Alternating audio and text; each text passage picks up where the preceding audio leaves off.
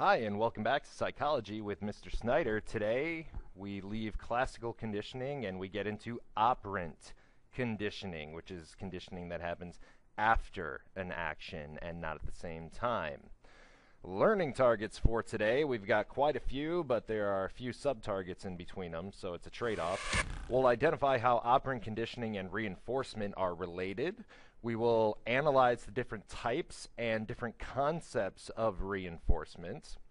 We'll interpret how rewards and punishments shape behavior. We'll interpret how schedules of reinforcement shape learning. And we'll also identify and describe some ways in which operant conditioning can be applied to society. So let's go ahead and jump right in.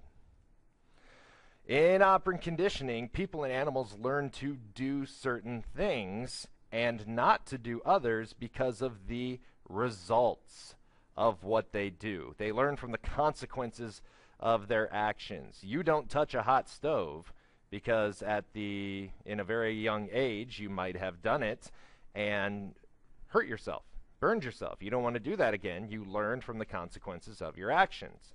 B.F. Skinner um, was the operant conditioning guy. John Watson did classical conditioning. B.F. Skinner does operant conditioning by using something called the Skinner box.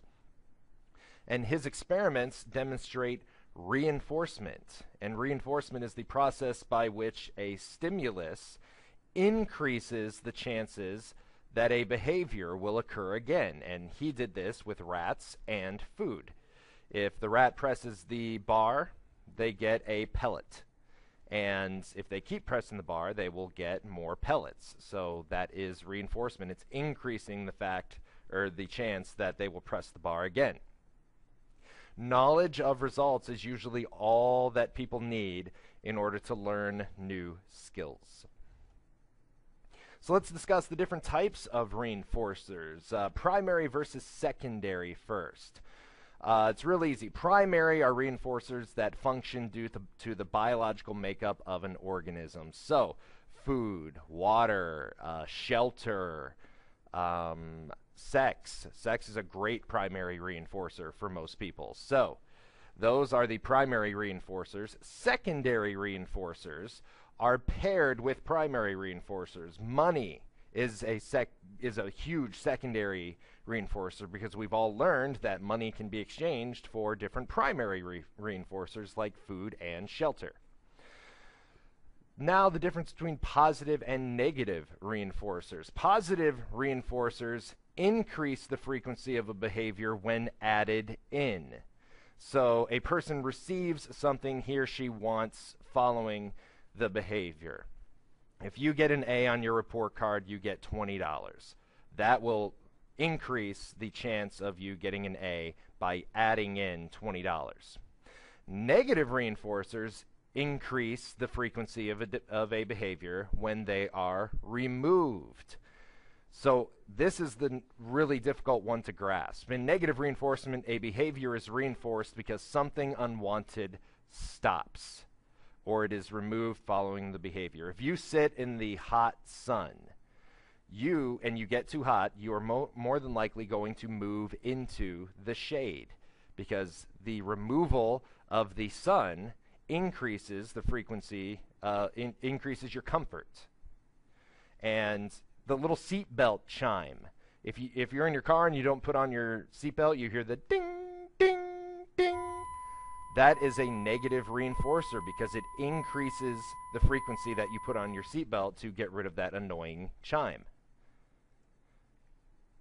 So here's a review over positive reinforcement and negative reinforcement and punishment now. Punishment is something that decreases the frequency of a behavior.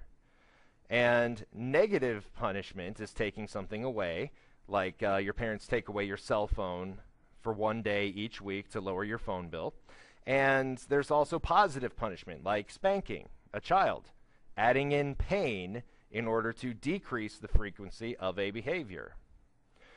Um, rewards, like positive reinforcement, rewards help encourage learning if you're rewarded for what you do.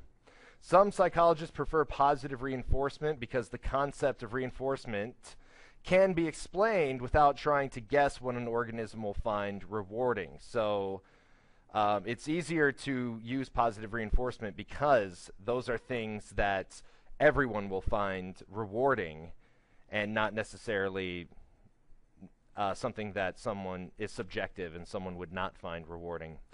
Punishments are different from negative reinforcers because punishments decrease the frequency of the behavior they follow, whereas negative reinforcements increase the frequency by taking something away.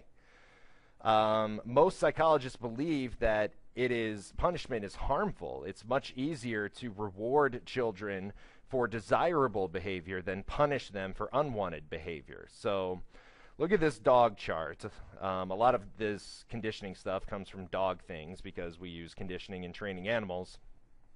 Something is given to the dog that increases the likelihood of the behavior being repeated. That's positive reinforcement. Negative reinforcement is something taken away um, to increase the behavior being repeated. Positive punishment is like spanking or adding in pain to decrease the likelihood of the behavior being repeated. And negative punishment is taking something away to decrease the behavior. So, an example of negative punishment is uh, getting your getting a timeout, getting taken away from playtime so that you don't hit your sibling anymore.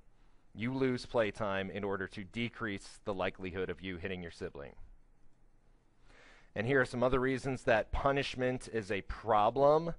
Uh, punishment can create anger and hostility. Punishment does not teach the alternative acceptable behavior, it only punishes the one that you are doing.